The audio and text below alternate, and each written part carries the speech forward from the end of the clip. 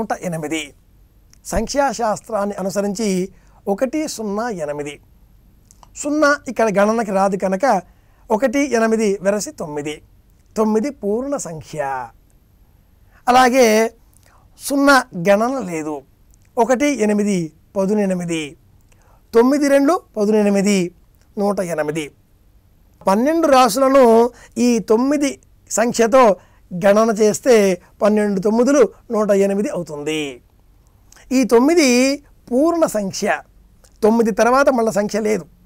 తొమ్మిది తర్వాత ఏముంది? సున్నా ఉంది. మళ్ళీ ఒకటి వేసుకొని ఆ ఒకటికి సున్నా పెట్టి పది అంటాం. ఆ సున్నా ఎడంపైపు వస్తే విలువ లేదు కుడివైపు ఉంటేనే విలువ. అంతే కదా? కాబట్టి తొమ్మిది పూర్ణ సంఖ్య తొమ్మిది పూర్ణావతారము పరమాత్మ స్వరూపము అంటారు.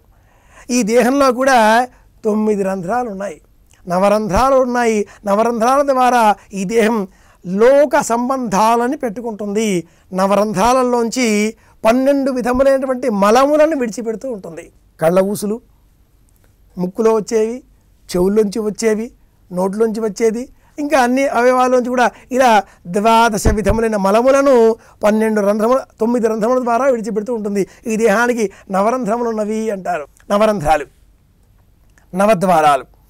అష్టాచక్రానవ ద్వారా దేవానాం పురయోధ్య బ్రాహ్మణులు ఎవరినైనా ఆశీర్వచనం చేయాలి అంటే ఒక మంత్రం చెబుతారు.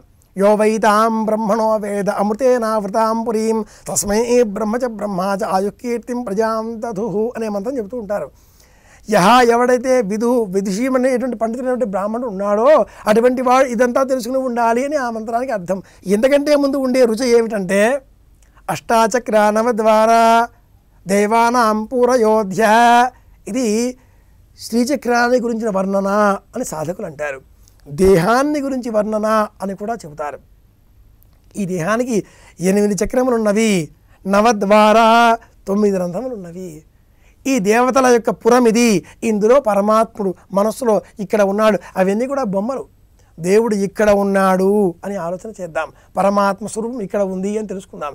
దీన్ని తెలుసుకునే నిమిత్తమై మనకు ఒక సాధనం కావాలి.